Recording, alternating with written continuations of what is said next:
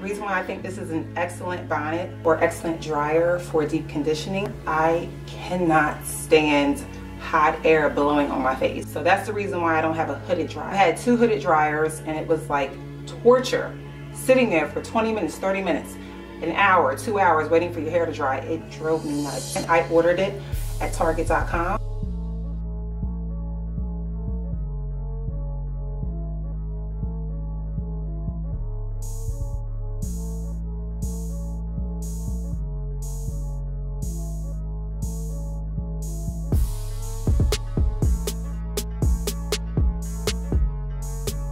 I paid $31 for it. Also saw it on eBay or Amazon for $89. Okay, do not pay $89 for this bonnet. Although it does perform very well, I would not pay $89 for it, okay?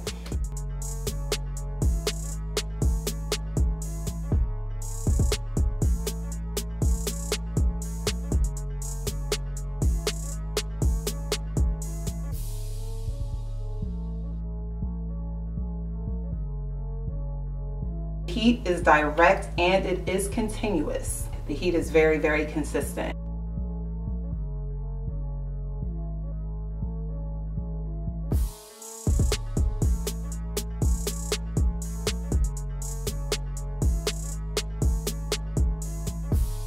I wish the hose was a little longer because when I'm deep conditioning, I'm doing several things at once. I'm on the phone, I'm walking around, I'm cooking, and I'm actually holding a container with me walking around. So I kind of wish the hose was a little longer, but of course it's not designed for that. It's actually designed for you to sit still during the deep conditioning process. So that's just my little problem. So it has two settings, the medium setting. Well, it says cool setting, but it's actually medium. It doesn't get cool at all.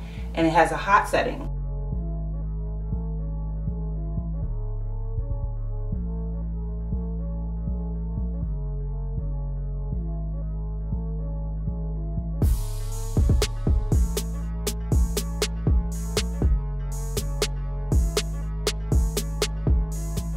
I wish the cap was a little bit bigger. I don't use it for roller sets.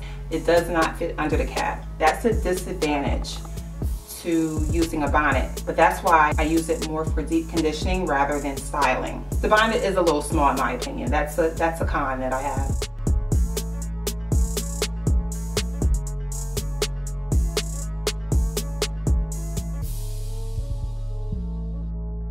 You have to sit still because if you're moving around and doing different things while you're deep conditioning, you can rip the hose, you can detach the hose from the body of the dryer, which is exactly what I did. I did that for the second time. Maybe it's poorly made, I don't know. I think if I had sat still on those several occasions and not been doing all, you know, multitasking, I don't think it would have ripped. But it did rip in the same exact spot it did before. Now I've had this dryer now for four years. So, you know, $31, four years, I think that's kind of fair. I mean, I obviously like the dryer because I purchased another one.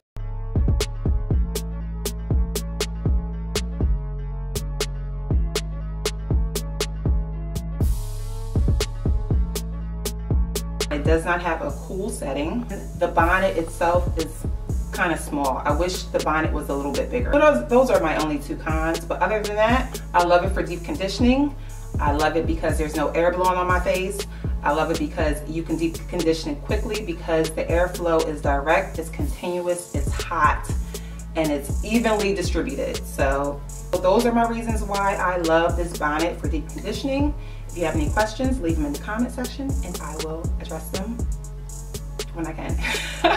All right, thanks for watching. I'll see you guys in the next video.